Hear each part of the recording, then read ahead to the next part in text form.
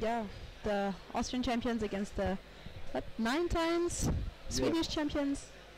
It will, it will be a great game. So we have uh, in black the Black Mermaids and in white UWRC Wien from Vienna, Austria.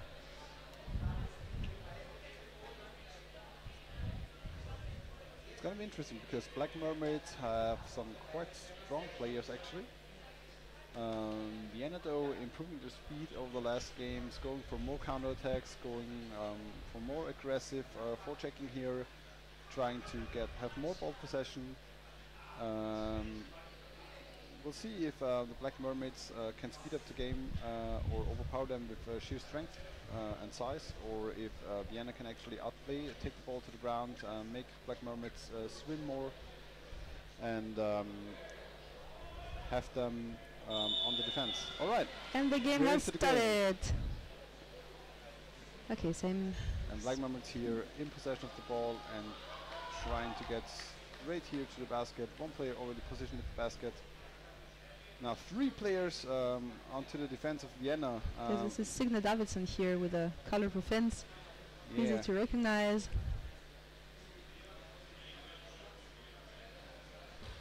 trying here to power. Oh, very nice grab, grab here by the by the Black Mermaid onto the goalkeeper of Vienna, but she's trying to twist out of it.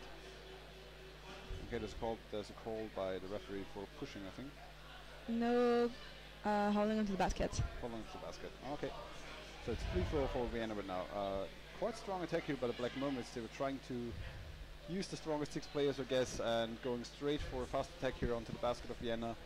That, that's how they've been working actually. Like yes, this this morning as well. Like they really went for the for the goal as soon as possible, and that's Yeah. actually their technique. I think they go and put pressure as soon as possible and to Yeah, and we see destabilize the opponent. straight up, uh, same, pretty much the same style as um, Malmö Triton did uh, last game, going for forechecking, um, trying to pressure the ball keeper here, and they regain possession of the ball in the middle of the pool. Vienna now uh, trying to get out the ball, but they seem to be a bit troubled. Oh, and uh, Murray actually stole away the basket, but Sabrina Scheuer here uh, can uh, catch the ball. With two people fighting for the basket. So if you don't have the ball, you can actually not push the other person. So if somebody steals your basket, you lie on top of them or wait until they leave. But it's it's very tricky. So don't should not let people steal your basket. So we have a question: What time are the finals? Um, the finals today are so the women's final is at half past three. Go ahead, I'll try to be a bit louder here. Um, So half past three is it, p.m. it's better now? Okay, keep on saying the time. So half past 3 p.m. for the women's final, Duis- Duisburg against Akaren, and the men's final is at quarter past 4 p.m. Orcas against Bamberg. And for the spots 3 and 4, no, yeah, 3 and 4 for the women, it uh, no, for the men, it's uh, Riemen uh, against Flipper at 2 p.m. and uh, for the women, Amaya against Castores at 14:45, so quarter to 3 p.m. Back into the game, we see um, Black Mermaids uh, having possession of the ball here, trying to uh, use their strength to rip out the ball from the Viennese players, um, not letting them out of their own half, uh, pressuring them back into a defensive positioning. Um, but Vienna trying to get the ball away uh, in the corner, but only having two forwards there. Usually, uh, it's very tough to um, just get a hand onto the ball here and Black Mermaids um, still in control of the game, having now a very nice position here, um, but the defender could, I think, just in time get into position and uh, push uh, the attacker um, away from the basket. Now surface scrum, and the ball is back into the possession of Black Mermaids, and they go immediately go in again, pressuring the defense of Vienna here. So Black Mermaids controlling the game, uh, forcing Vienna into their own half here for about four minutes now. And we'll see if they uh, can get the push out into the, the half of Black Mermaids and um, position themselves at some point. for the Swedes here, always having one player um, waiting underneath the basket to get a quick pass, to get a scoring opportunity uh, onto the back of the goalkeeper here.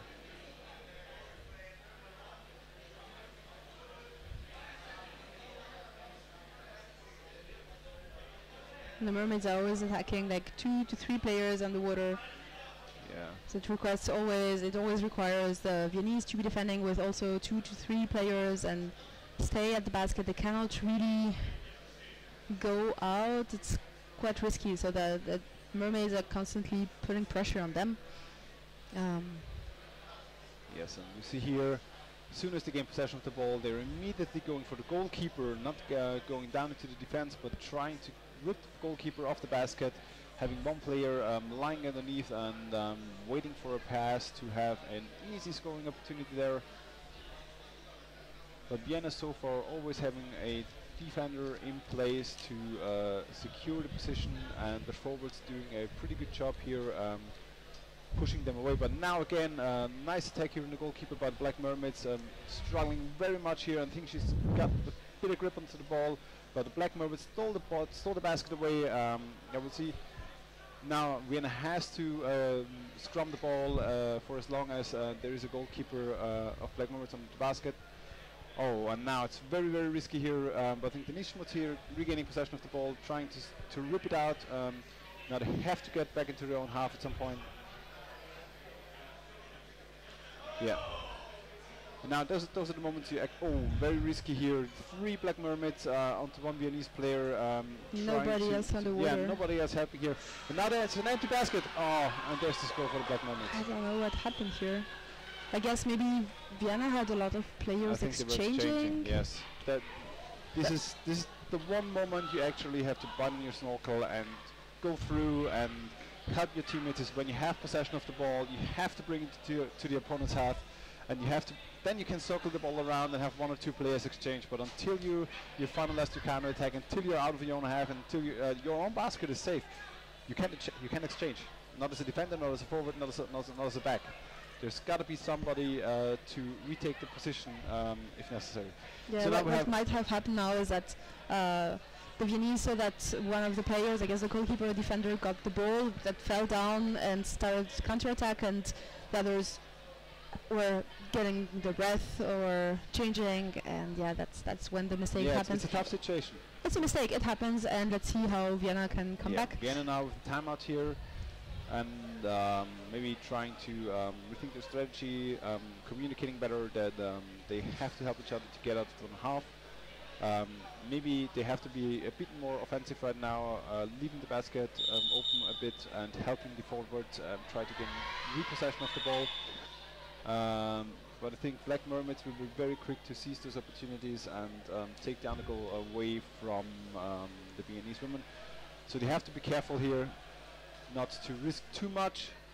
But at some point they have to score. They have to equalize here, and they seem to struggle to get out of their own half here to keep possession of the ball. Black Mermaids here um, using the strength to their advantage, um, scrumming the ball up as soon as they can, and then ripping it out of, the, of apparently stronger players here. Stronger and I guess also more experienced when you have players like Anne-Sophie Krakau who's been playing for 25 Yes. years and or young players who still have been playing since they're 12 so it's um, Yeah.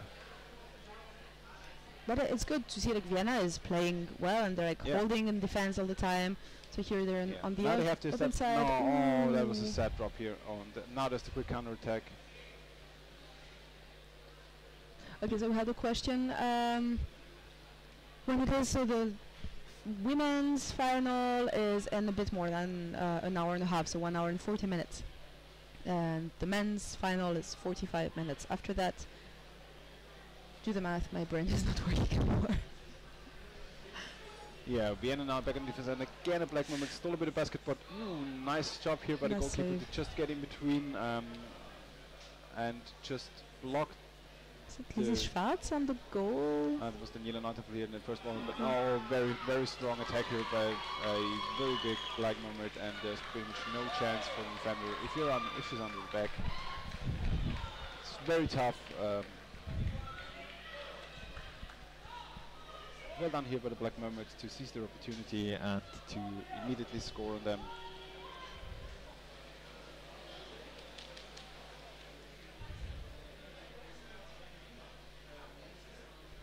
But it's very interesting to see how the Austrian, how this game is, is actually a very interesting game. And two Yes. years ago, um, two years ago actually, Austria, we I was playing, uh, I played with the Austrian team, and we won against the Black Mermaids, but they had sent their junior team.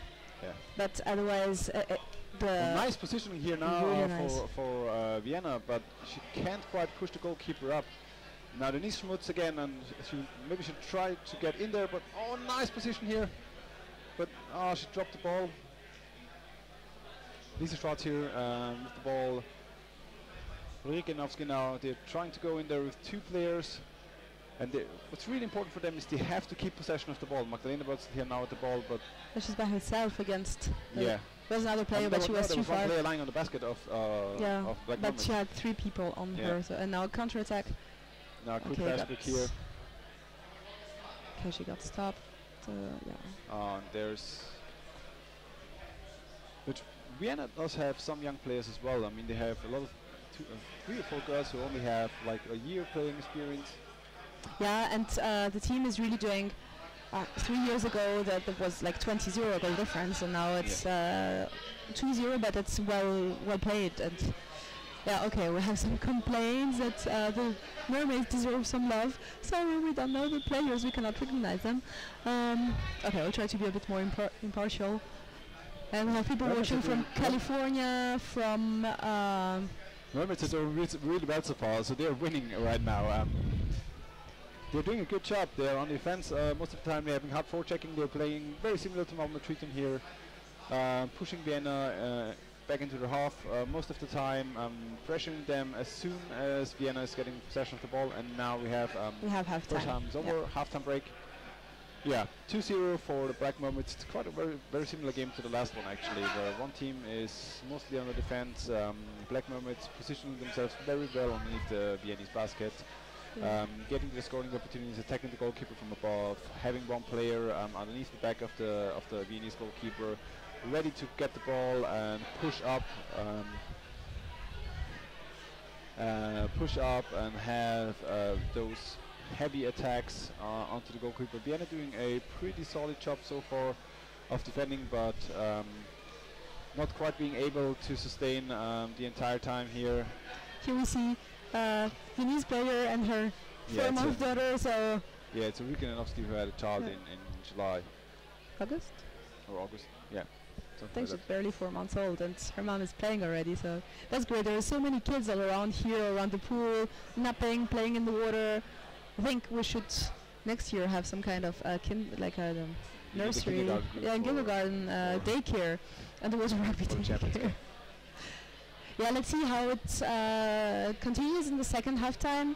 Um, Oh, hopefully, not not just because we're we're not not because we're partial to the Viennese, but hopefully because of, for the interest of the game as well.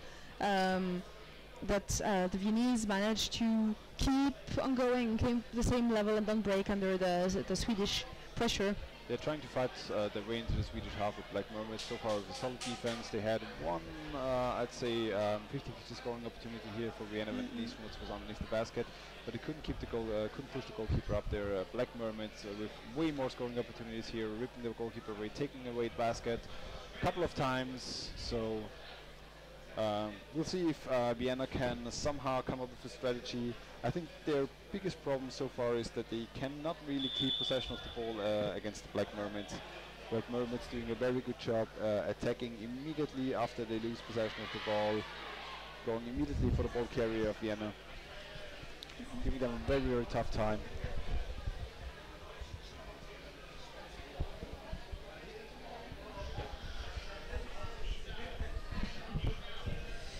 Yeah, so we have people watching from California, from Scotland, watching, I guess, from Turkey. I'm not sure where is everybody watching from. We have 240 people right now on the chat, um, but I'm sure we have more people than that watching. Do you have like big watching parties at your places? Tell us a bit uh, in the in the comments. What is happening? How are you watching?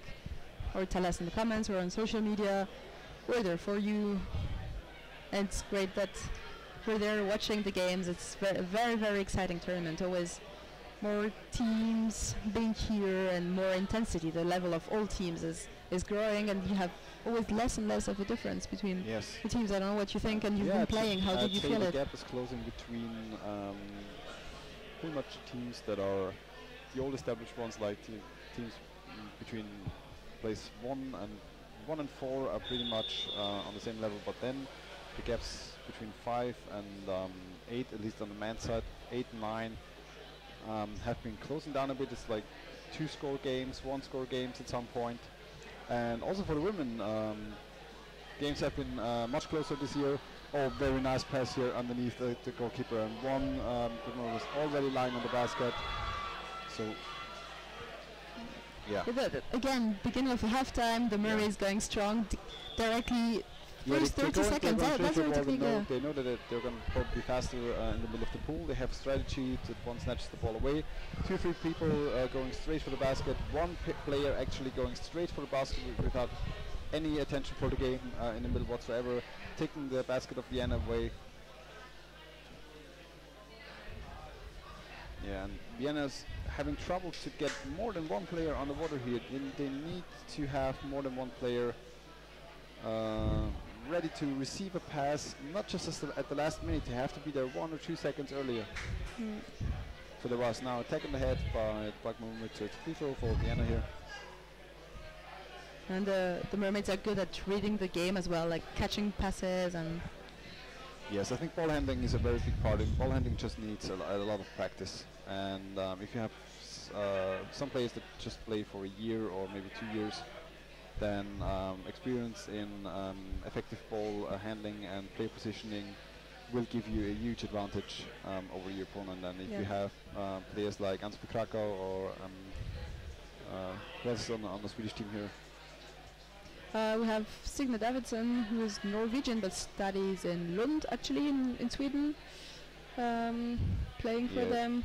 I don't really know the so we have Eric like we have Erika Lindström. So really experienced players here on on the Norwegian uh, on the uh, Swedish team. There's having now another free throw for Vienna. Should we change sides now? Yeah, Vienna really struggling to keep possession of the ball. They are trying their best uh, to somehow get into the half of the Black Mermaids. Somewhat uh, establishing. Oh, that's actually. Oh, there would have been a great opportunity here um, to go for the basket, but the ball sadly just dropped down. I think that the Viennese are tiring a bit. Or Yeah, they might be a bit tired here um, from the last game against the Tiranas, but uh, at the same at the same time They're not as many on the water. Like they. no, they're not as present. I, I feel Yeah. that the, the pressure is going down a bit, but not too much. Yeah. Okay, nice. And now what was yes, I saying? no, I nice- should nice- nice negative attempt comments and then they go back. To get close to the basket. It's important to have more than one player try to reach the basket at some point. You can't just go in with one player. You won't be able to succeed um, on a level like this uh, with just um, single efforts.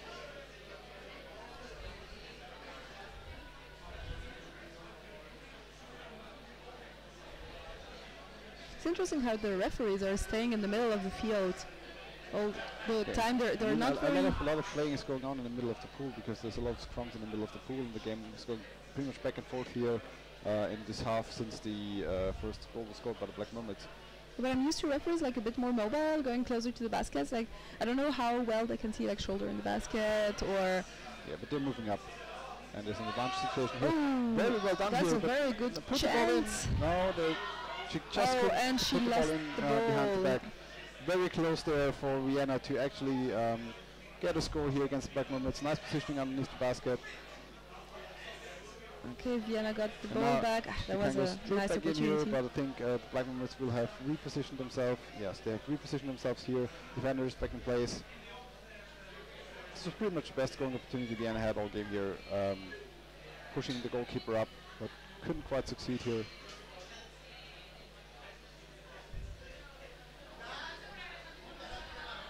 Tough if you're a team that uh, really actually um, has the opportunity um, to practice against other female teams, and then at the same point um, you are, you're on the defense most of the time during a tournament. Um, it's quite tough to get um, experience in scoring opportunities and uh, having experience to push the goalkeeper up properly. I mean, you have to practice it in the club as well. Yeah, but in the club it's, it's, it's, also it's an different. entirely different situation in the tournament if you're under pressure and if you're out of air.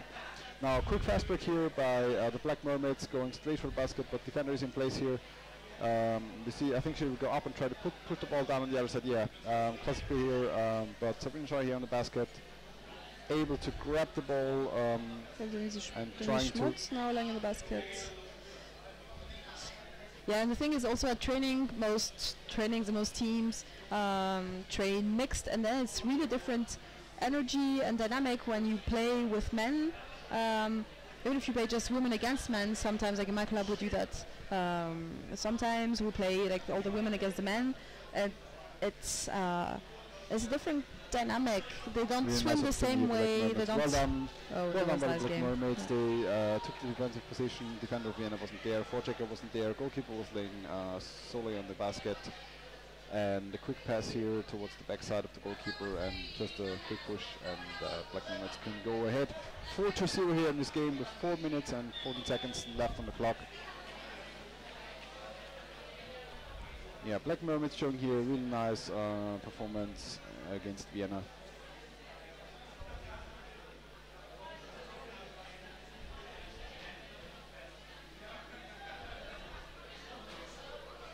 Vienna still trying to keep their efforts up, trying to get into the half of Black Mermaids, trying to score once to have um, this good feeling of seizing every opportunity they can. One against two. Yet again, no forward here to help the goalkeeper, and Was She a goal? yeah, she could uh, pull away the goalkeeper here, for uh, Boxel, and uh, put the ball in uh, in a small hole here at But the it, t- it took a long time for the Viennese uh, Yeah, teammates to come down. Like Yes. they were down That's for quite a long time, and then the it's goalkeep- stressful. Yeah. The goalkeeper was in place, was doing a really good job here, um, uh, trying to protect the goal as long as she can. But she needs help of a forward here to actually um, be able to clear the situation if she doesn't get a hold um, on, onto the ball. That you saw the last game of uh, Firenze against the Black Mermaids. Um, they always had like for a long time they sustained the pressure. That they always had um, a, like always very often they managed to have an attacker between the ball and the defender. So it was uh, another way to keep a bit the pressure off uh, the defenders. They could p- position themselves better, and it Yeah. was a bit more of an obstacle. Especially is if, uh, as we can see here right now, um, the Black Mermaids always going for the neck of the goalkeeper here to try to establish a hold and pull the goalkeeper up, um, get them out of position to then throw those quick passes uh, down to a player position underneath the basket. Um, as a forward player, you have to be aware of this. You have to um, actually anticipate the situations um, and uh, help out your goalkeepers and your defenders.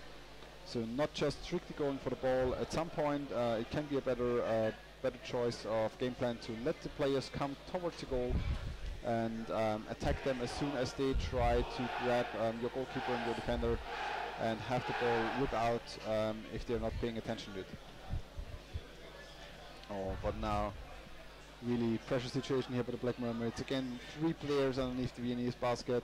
There is a defender a bit in place, but um, yeah, she actually could was on Sophie here on the back. Yeah, again, uh, Black Mermaid here um, underneath the goalkeeper, pulling her up, but she couldn't quite put the ball in.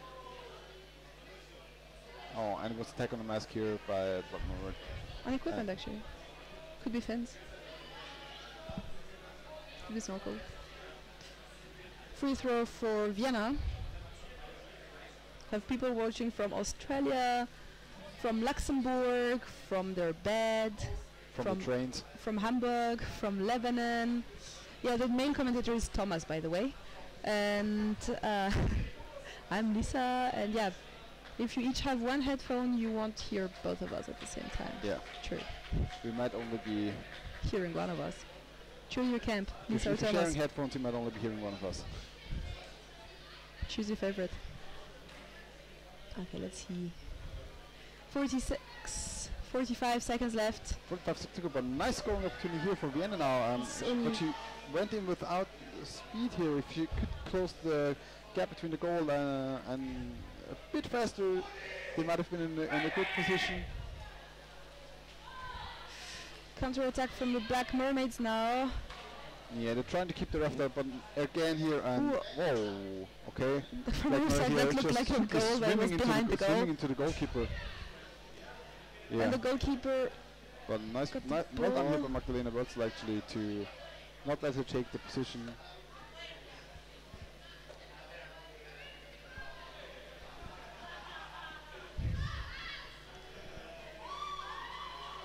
Yeah, okay, the And goalie here was by herself. himself. That was a bit. It was an yeah, it's a exciting bit of game. a, uh, of a heartbreak uh, time, but 5-0. It's it's it's a good score. It's Yeah, I think Fast Hero is very representative of the game. Black Mermaids, um, clearly the stronger team here, more experience, better at ball handling, um, stronger uh, at pressuring um, forward against the Viennese offense. They were really struggling to get into the half of the Black Mermaids uh, properly. They had one or two good scoring opportunities. They couldn't seize them, sadly. But for a young team uh, against an experienced team, uh, well done here. And yeah, we're basically looking forward to all the female teams who are now um, very young and a bit inexperienced to be here the next two, three years, see how they improve and how the competition is getting closer. And okay. So we have our. and I think Lorena and both will be taking over now, if I'm correct. They're coming for the game. Uh, okay, yeah, it's already the the game for the third spot for the men.